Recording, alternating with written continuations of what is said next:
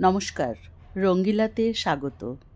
আজকের গল্প অর্ধাঙ্গিনী, লিখেছেন মৌসুমি হাজরা। বুঝলেন রমেশবাবু, আজকাল টাকা না থাকলে ভালোবাসা দরজা দিয়ে ঢুকে জানালা দিয়ে পালায়। কথাটা খুবই পুরনো, অনেকের মুখেই শুনেছে সন্দীপ, কিন্তু কথাটা যে আজ বরুণ কাকু সন্দীপকে উদ্দেশ্য করেই বলেছেন, সেটা বুঝতে অসুবিধা হয়নি তার। গতকাল রাতে মেঘনার সাথে কথা কাটাকাটি হয়েছিল। গলার স্বর একটু বেড়ে গিয়েছিল দুজনেরই। সেটা হয়তো পাশের বাড়িতে থাকা বরুণ কাকু শুনেছেন। তাই আজ চায়ের ঠেকে কথাটা এইভাবে বললেন। চা খেয়ে টাকাটা দিয়ে দোকান থেকে বেরিয়ে গেল সন্দীপ। সাদা নীল আকাশে অনেক ঘুড়ি উঠছে উঁচু উঁচু পুরনো বাড়িগুলোর দিকে তাকালে সন্দীপের মন খারাপ হয়ে যায়। এমনিতেও কাল থেকে মন ভালো নেই তার। রাতে ওইভাবে মেঘনাকে না বললেই হতো। ভাবতে ভাবতে আকাশের দিকে তাকিয়ে ঘুড়ি দেখছিল সন্দীপ। কি এমন আছে ওই সরু দড়িতে যা একটা ঘুড়িকে বেঁধে রেখেছে? হয়তো একেই বলে বন্ধন।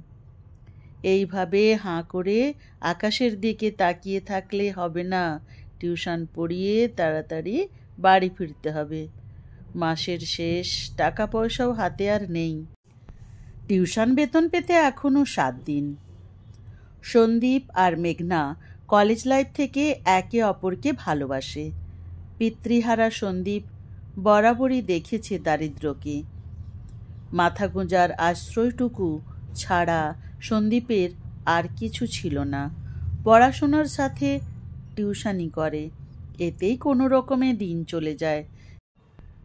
কিন্তু মেঘনা খুবই উচ্চবিত্ত পরিবারের মেয়ে।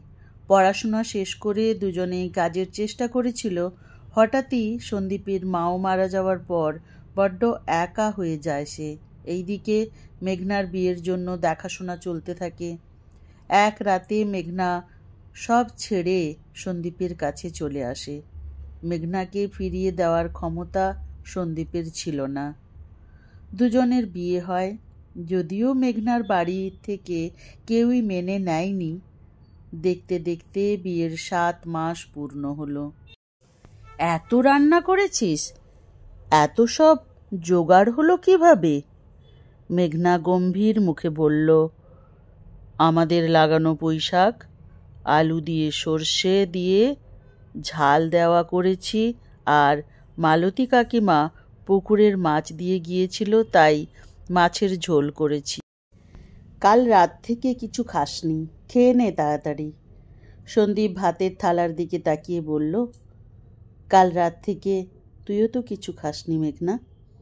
তোর খাবারটাও নিয়ে আয়, একসাথেই খাব। দুজনেই আর কোনো কথা না বলে খেতে লাগল। পেটের জ্বালা বড় জ্বালা। দুজনেরই যে খিদে পেয়েছিল সেটা দুজনেই জানে। তাই কথা না বাড়িয়ে একসাথে খেয়ে নিল।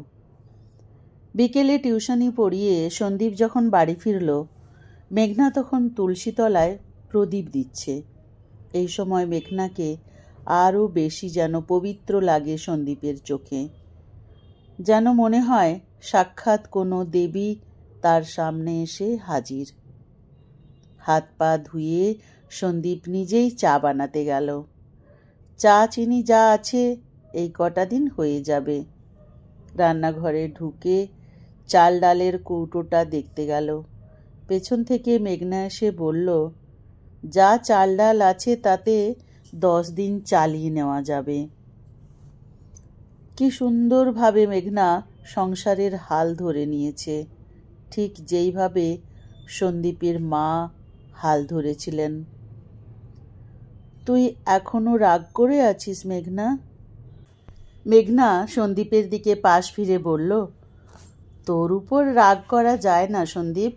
তবে তুই একটু ভেবে দেখ আমিও যদি কটা টিউশনি বাড়িতে পড়াই, এতে তো ভালোই হবে।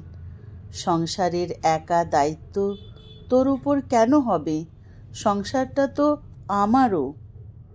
সন্দীপ কিছুক্ষণ চুপ করে থেকে বলে, তাহলে যে তোর বাবার কাছে আমি ছোট হয়ে যাব রে মেঘনা? মেঘনা কিছুটা রেগে গিয়ে বলল, মেয়েরা কাজ করলে বুঝি স্বামীরা ছোট হয়ে যায়? কোন যুগে বাস করছিস তুই? এত সেকেলে মনোভাব কেন তোর? সন্দীপ মেঘনাকে শান্ত করার চেষ্টা করে। আমায় ভুল বুঝিস না। আমি মেয়েদের কাজ করাকে খারাপ বলছি না। মেঘনা জানে, বিয়ের পর তার বাবা যখন বাড়ি এসে সন্দীপকে অপমান করেছিল, তখন সন্দীপ বলেছিল, সে যেভাবেই হোক, মেঘনাকে সুখে রাখবে। সন্দীপের বুকে মাথা রাখে মেঘনা। তারপর ধীরে ধীরে বলে, দেখ সন্দীপ, জিনিসপত্রের দাম বেড়েছে। দুজনেই যদি রোজগার করি, সংসারটা ভালোভাবে চলবে। আজ দুজন আছি, কাল তিনজন হব, তখন তো খরচ আরও বাড়বে।